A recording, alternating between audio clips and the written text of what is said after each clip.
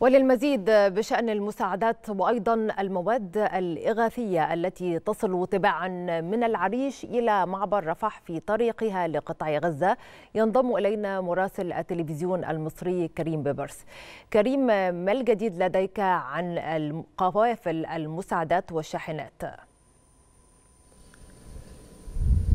تحياتي لكم وتحياتي لجميع السادة المشاهدين. بالفعل لم يتوقف معبر رفح المصري عن استقبال المساعدات المختلفة سواء التي تأتي من داخل جمهورية مصر العربية أو التي تأتي من الخارج عن طريق مطار العريش الدولي.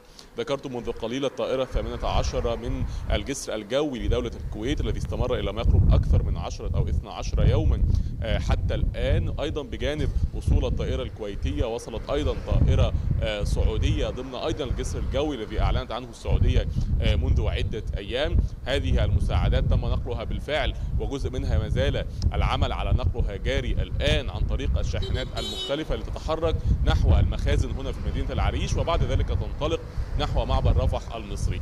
أما من أمام بوابة معبر رفح المصري نتحدث عن عدد كبير من الشاحنات.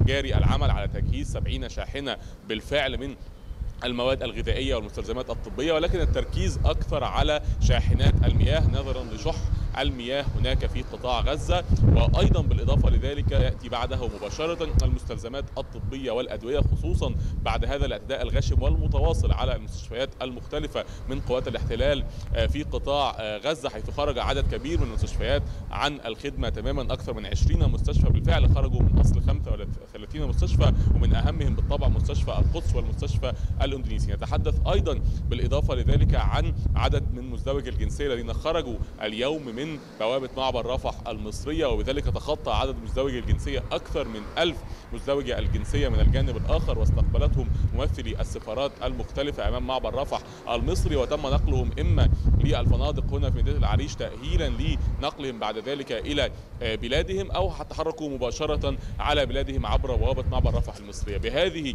الأرقام نتحدث عن أكثر من 7000 طن تقريبا. من المساعدات المختلفة خرج فقط من الدولة المصرية والشعب المصري إلى الأشقاء في فلسطين حسب الهلال الأحمر الفلسطيني. ونتحدث أيضا عن إجمالي 11 ألف طنا نعم. مقسمين من دول العالم ومصر.